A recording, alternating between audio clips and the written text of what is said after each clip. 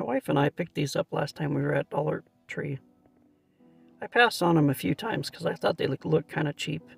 Here's a barcode if that helps you any. I thought for a buck 25 you couldn't go wrong even if they were uh, on the cheap side. You get six of these jars for a buck 25, which is not a bad deal. The glass is actually a lot thicker than I was expecting.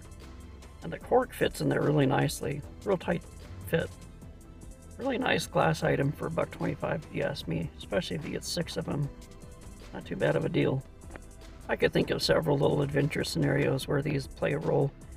Maybe holding some sort of substance, like an antidote or some sort of, who knows, potion or something. I think I think they're pretty cool. I think they look great sitting in like a lab or maybe some mysterious cabinet of some sort. You can see the glass is rather thick, so it's not cheap. And in the hands of a kung fu grip G.I. Joe, he holds it pretty well. He almost looks like he's has evil intentions planned for this. Maybe if he drinks it, he'll become Hyde. Who knows?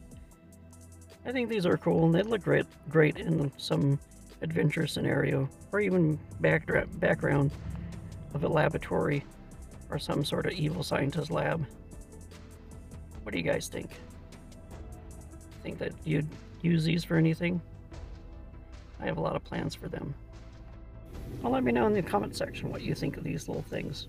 Drop a comment, click that like button, share this video, and don't forget to subscribe. Thanks for watching, and don't forget to collect, inspire, and create. I'll see you in the next video.